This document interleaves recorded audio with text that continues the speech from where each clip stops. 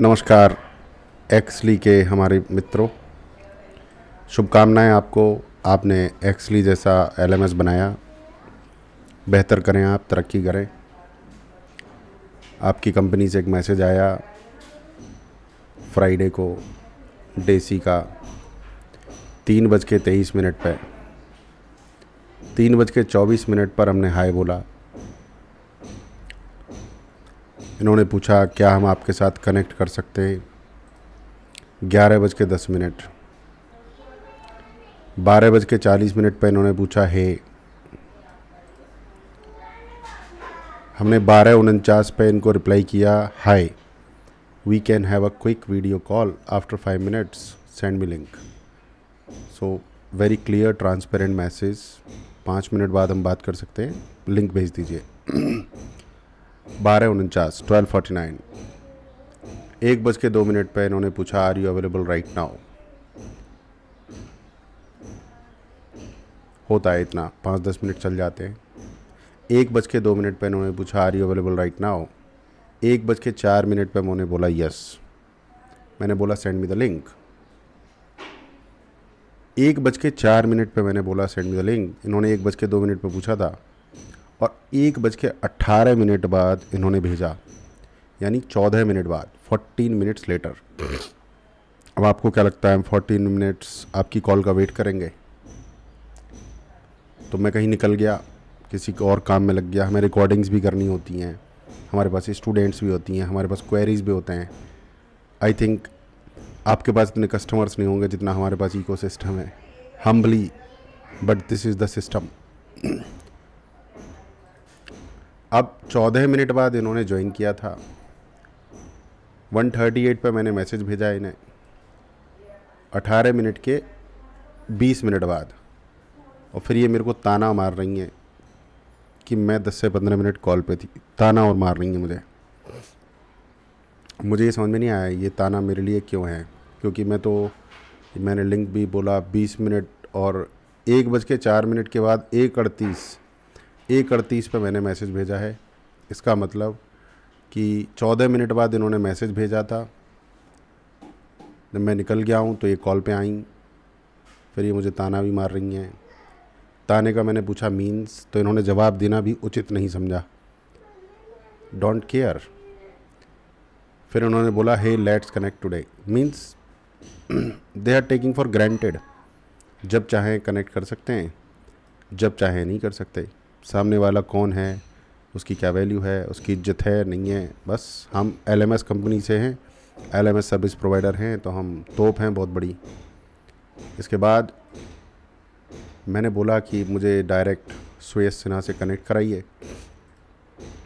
11:37 AM today 11:38 कि वो कह रही है कि मुझे फास्ट फ़र्स्ट लेवल डिस्कशन उनके साथ ही करना है। तो फिर उन्होंने इंटरनली डिस्कस करना है। तो यहाँ हल्का सा लगा मुझे कि right she is very sincere now मैंने बोला, फिर भी मैं टॉप लेवल के लोगों से बात करता हूँ। एक बार मैंने क्रॉस चेक करने की कोशिश की, कितनी सिंसियर है? तो उसके बाद लगा कि सिंसियर हैं, क्योंकि भैया इन्होंने फिर रिप्लाई किया हेड ऑफ़ दी पार्टनरशिप्स फलाना ढिमकाना शोएस जी के साथ डिस्कस करेंगे। शोएस जी बहुत बड़ी तोप हैं, क्योंकि उन्होंने कंपनी बनाई है। राइट और हम तो ऐसे ही हैं, हम तो ऐसे ही हैं, हमसे तो कभी भी बात की जा सकती है।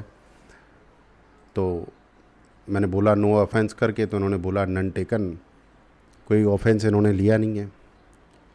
I understand that but SOS is not directly involve with any client partner directly involve नहीं है। तो कब कनेक्ट कर सकते हैं? इन्होंने पूछा एलेवन फिफ्टी नाइन पर हमें लगा कि भाई ठीक है, चलो, अभी सिंसियर है, लड़की तो कर लेते हैं बात।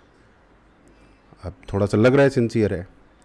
11:59 पर इन्होंने बोला है, मैं अपने एक सेशन में था, जैसे ही फ्री हुआ मैंने बोला sure I am free now अब इसका मतलब ये नहीं है कि मैं फ्री हूँ तो सब दुनिया फ्री है, मैं समझता हूँ बट मैंने अपना मैसेज दिया है कि अभी मैं फ्री हूँ। अब क्योंकि हम दिन भर बिज़ी रहते हैं तो अचानक से तो फ्री हो नहीं सकते, कभी भी होते हैं तो बता दिया मैंने। वो भी बता सकती हैं कि मैं फ्री हूँ तो ठीक है, नहीं तो इट्स ओके okay. जब भी फ्री होंगे तब देखेंगे। इतना तो कॉमन सेंस होता है। एक बज के दस मिनट पर मैंने बोला कि, मैं फ्री हूँ। इन्होंने एक बज के दस मिनट पर बोला, मैं आपको दस मिनट में कॉल कर रही हूँ। यानी दस मिनट के बाद, दस मिनट इनके पास कुछ भी हाई प्रायोरिटी है या पहले से इन्वॉल्व हैं। राइट जबकि ये मुझसे बात कर रही हैं पिछले दो तीन मिनट से या दस मिनट से। बट ये भी समझ में आता है कि दस मिनट का टाइम दिया जा सकता है ऑब्वियसली कोई भी किसी काम में बिज़ी हो सकता है, मैं भी हो सकता हूँ तो कोई भी हो सकता है राइट तो हमने बोला, ठीक है, दस मिनट में हमें लिंक शेयर कीजिए। इतना तो भाई समझते हैं हम, कोई तानाशाही थोड़ी है, हिटलर के पापा थोड़ी हैं हम राइट अब ग्यारह, एक बज के बारह मिनट पर मैंने बोला है, इन्होंने एक बज के दस मिनट पर बोला है दस मिनट। तो मैं मान के चलता हूँ कि एक बज के बाईस मिनट भी हो सकते हैं। बारह मिनट हो सकते हैं, दो मिनट एक्स्ट्रा हो सकते हैं। या उनका मैसेज आता कि भाई थिंग्स आर टेकिंग टाइम मैं नहीं कर सकती, या अभी मैं थोड़ी देर में दे रही हूँ सर आपको। But nothing like that things are taking granted in India होगा कोई? जब मैं तैयार हूँ तो सामने वाला तैयार है। ज़्यादातर कंपनियों का एटीट्यूड यही है इंडिया में इस समय। तू कौन भाई? हम एल बेच रहे हैं तुझे। हम क्लास प्लस का सॉफ्टवेयर बेच रहे हैं। हम वोडाफोन की सिम दे रहे हैं तुम्हें। वेरी वेरी पुअर एटीट्यूड अब एक बज के दस मिनट पे इन्होंने बोला है दस मिनट बाद। एक बज के उनतालीस मिनट पे इनका लिंक आया है। One thirty nine nineteen minutes बाद, उन्नीस मिनट में मैं अपने दो वीडियो लेसन रिकॉर्ड कर देता हूँ। तो मैं इनके लिए फ्री बैठूँगा। मेरे पास लाइफ में बहुत सारी चीज़ें हैं भैया मेरे। उन्नीस मिनट। दस मिनट में प्लानिंग से वेट कर सकता हूँ बट बाकी के नौ मिनट नौ मिनट की क्या वैल्यू है इनको शायद अंदाज़ा नहीं है। They are taking things for granted उसके बाद let me know when you join 19 मिनट के बाद इन्होंने ये नहीं बोला please join let me know when you join मुझे बता देना जब ज्वाइन करो। मुझे बता देना जब ज्वाइन करो। मैंने बोला टू मिनट्स 139 के दो मिनट बाद मैंने बोला टू मिनट्स प्लीज़ बोला है मैंने। थोड़ी सी तमीज़ दी है ना भगवान ने हमें। प्लीज़ बोला है हमने। इन्होंने एक ही मिनट के दौरान श्योर बोला है और लेट मी नो भी बोला है।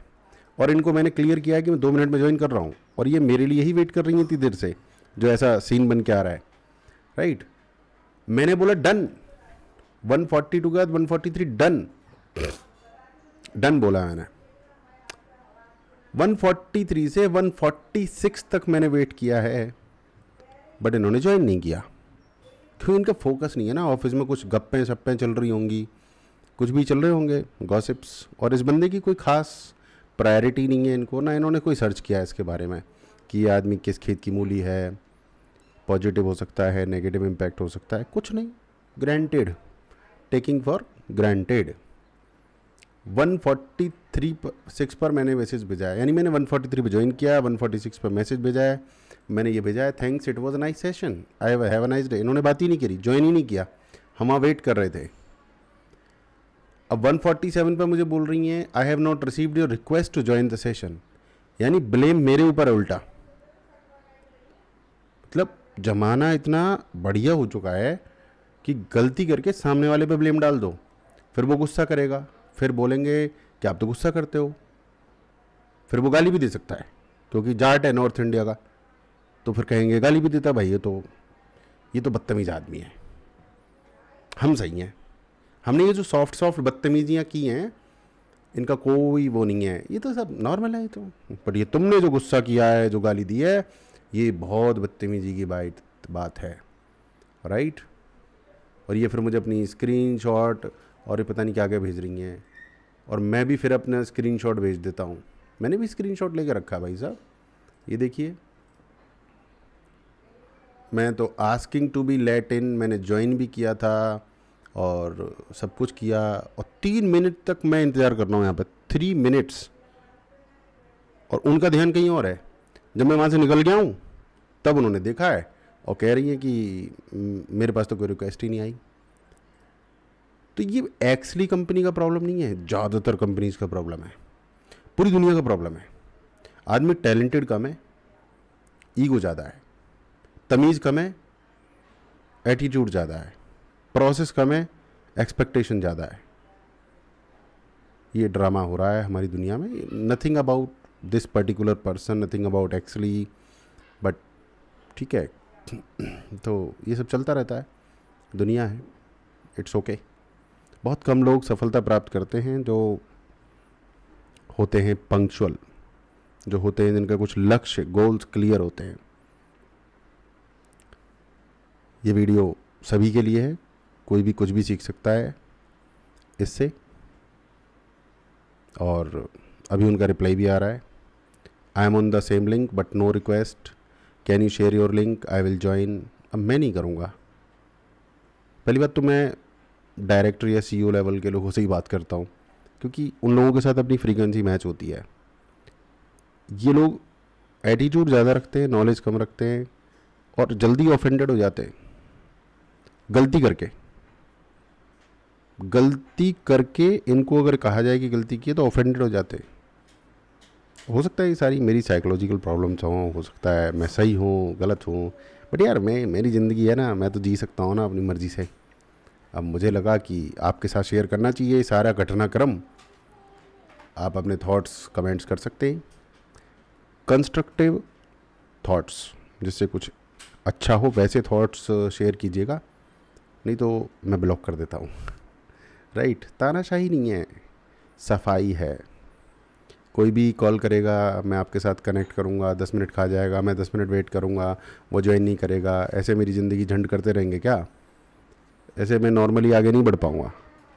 और आप अगर वीडियो देख रहे हैं तो आप भी इस वीडियो से बहुत कुछ सीखेंगे। Right thank you very much नमस्कार।